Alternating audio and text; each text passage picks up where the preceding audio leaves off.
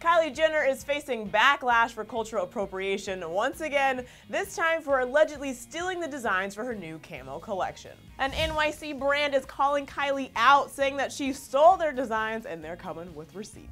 Kylie released a new camo collection yesterday that features a variety of matching camo tops and bottoms, but the internet was quick to call out media outlets for crediting Kylie as the pioneer of the two-piece camo look. People were quick to point out that Destiny's Child actually made the look popular in their Survivor video back in the early 2000s.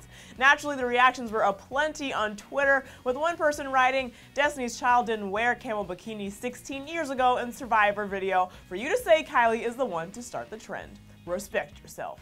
Another wrote, every time this girl does something, they say she is starting a trend. Followed by, Miss Tina did not put in the hours on that sewing machine to be slandered and denied recognition.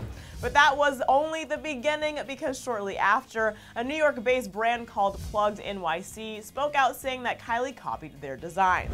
The brand's creative director posted a series of alleged emails exchanges between their brand and Kylie's team that revealed the NYC brand had provided samples to Kylie. The creative director tagged Kylie in the post with the caption saying, quote, when you really, Pablo, I am the influence, drops mic. Copy and paste down to the shoes I use on my models. The Kardashians will take your N-word and brand stamp, LMFAO. Kylie's team has yet to respond to the accusations, but this isn't the first time she's been accused of something like this. She was previously accused of copying a t-shirt design earlier this year, as well as copying a makeup artist's original design. We will keep you updated as the story progresses, but I want to hear from you guys.